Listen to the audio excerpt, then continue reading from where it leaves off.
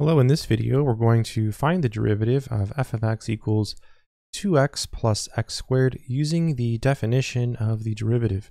Let's go ahead and carefully work through it. Solution. So f prime of x, which is the derivative of f at x, by definition is equal to the following limit, assuming it exists.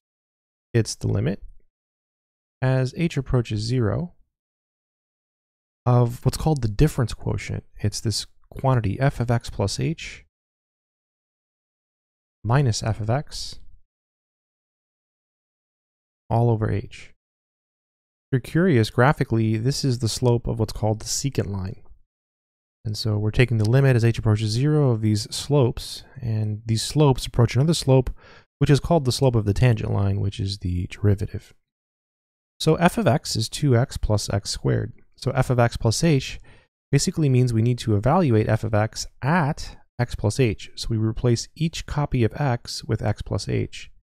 So this is equal to the limit as h approaches 0. So here we have 2 parentheses x plus h plus, and then x plus h squared. So this whole piece here that I've written, all of this is f of x plus h. That's the only thing I've written down so far. Minus, and then we have f of x. So we do need parentheses because it's two terms. So parentheses 2x plus x squared.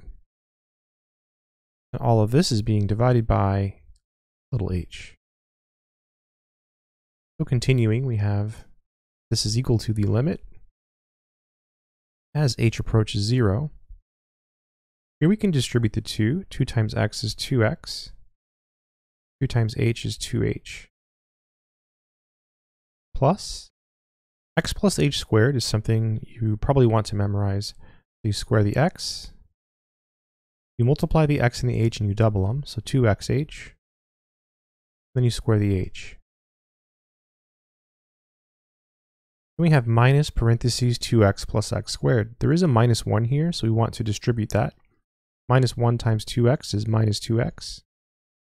Minus 1 times x squared is minus x squared. All of this is being divided by little h.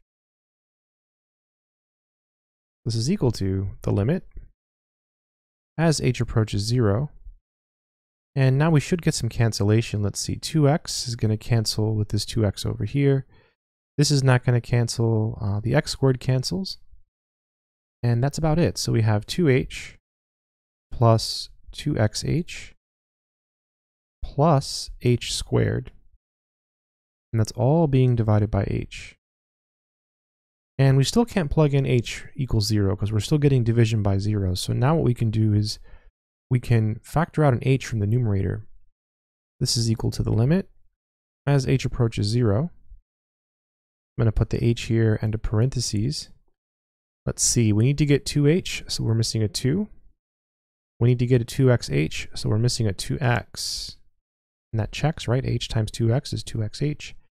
And we need to get an h squared, so we need an h. And that checks because h times h is h squared.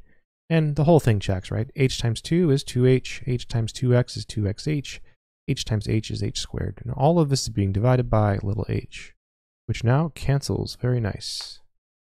So this is equal to limit as h approaches 0. And we're left with parentheses 2 plus 2x plus h. And so at this point, we can take h equals 0 and plug it in.